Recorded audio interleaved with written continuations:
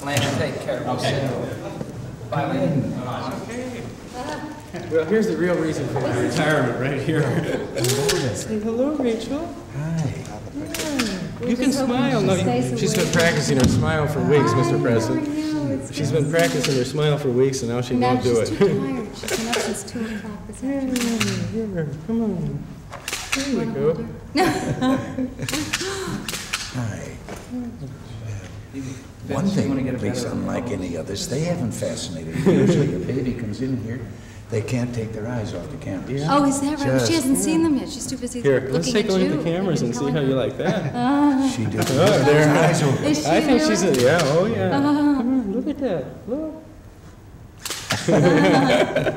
Okay, Well, guess we have to go to the other room there. I think Yeah, so. there's a number of people there. so. Okay.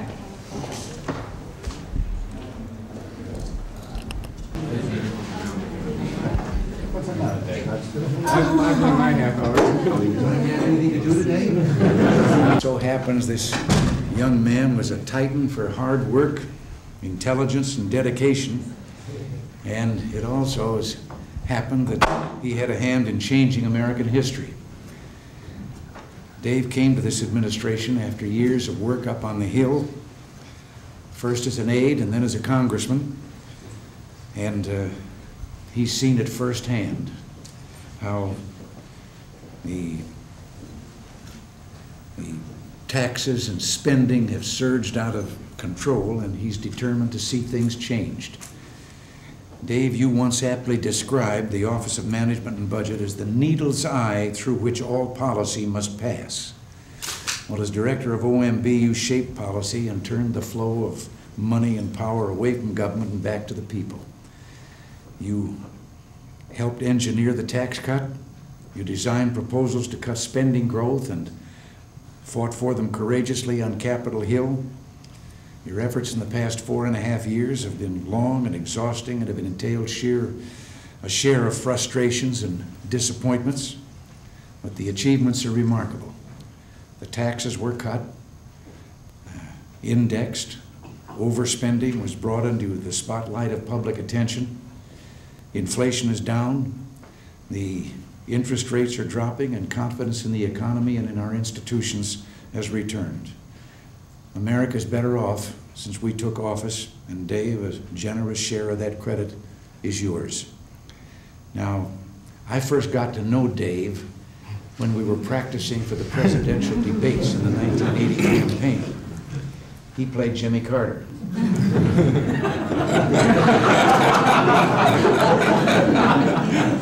I lost some of the practice debates.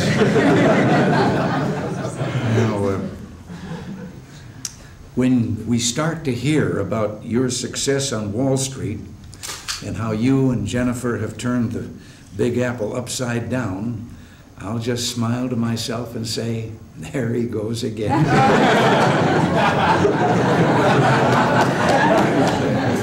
Dave's interest in figures started way back. When he was a young man getting an education, he was in a science class. The professor was lecturing on the sun and the earth and some things of that kind. And the professor explained that in about a billion years, the sun would have burned itself out, would be just a cold cinder, and the earth would be a frozen chunk of nothing floating through the atmosphere. And a hand went up, and it was young David's hand. And he said, How many years did you say? And the professor said, A billion. And he said, Oh, thank God, I thought you said a million. Dave Jennifer, we'll miss you, and we wish you all the best, and God bless you.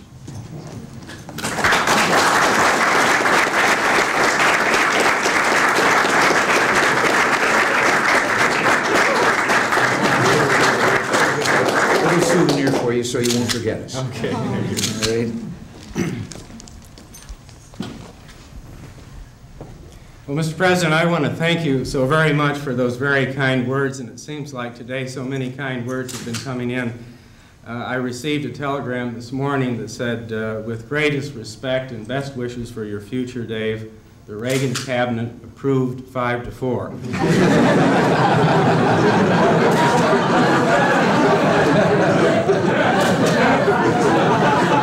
I had uh, thought, Mr. President, that uh, given all that we have gone through on this occasion, it would be useful for me to present a farewell briefing.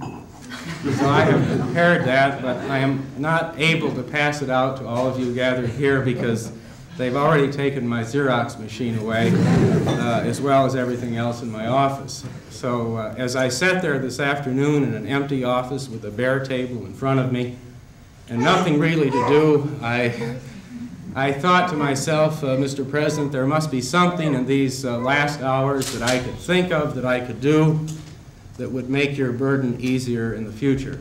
And so I sat there thinking, and the only thing on the table uh, before me was my hand calculator. So I began to play with it, and then I discovered the problem that we have had for the last four and a half years. This thing, the subtraction button does not work on it. So as I retire, I would like to uh, retire this calculator as well.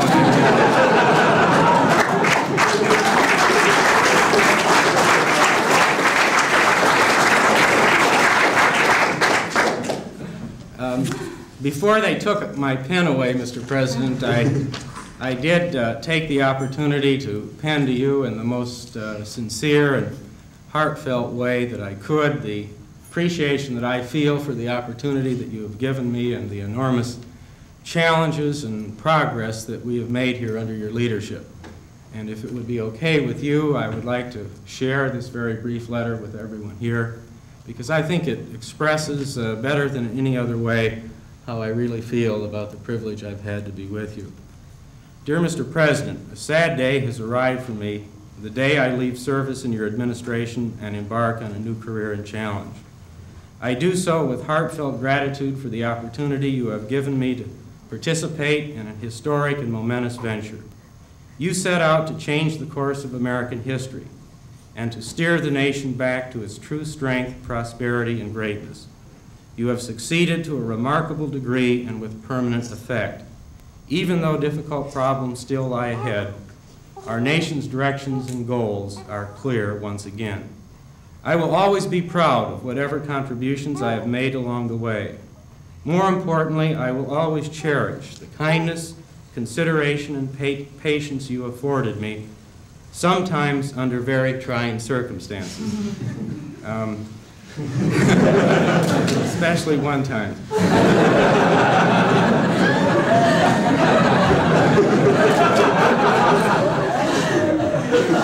Changing decades-old uh, habits and policies has necessarily given rise to contention and disagreements among all of us entrusted with the responsibilities of governance. But your unfailing grace, spirit, and goodwill have made all those debates and battles more pleasant, rewarding, and memorable than you can possibly appreciate. As you know, Jennifer and I are now the parents of a three-month-old daughter right next to you. Just as Rachel is the pride of our lives, I know that someday the pride of hers will be that her father was privileged to serve President Ronald Reagan.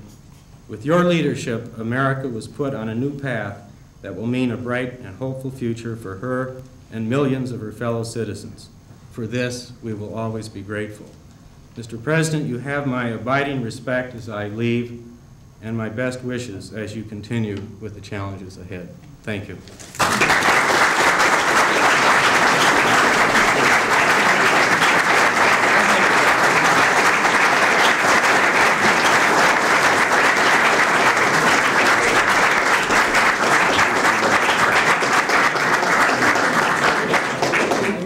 Well, eat, drink, and be merry.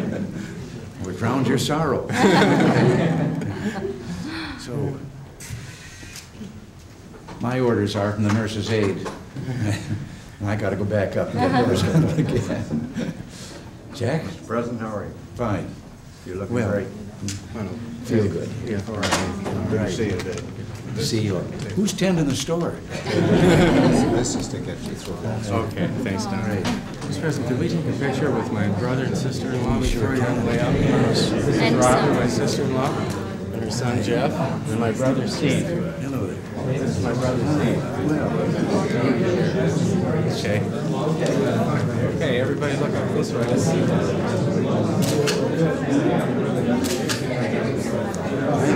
having a hard time right now with this patch on my nose with full straight-on shots. Yeah. I've been trying Sails off.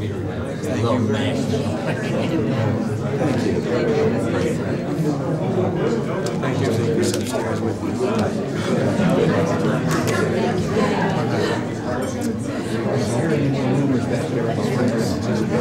I'll put them out immediately. Let me know when. That's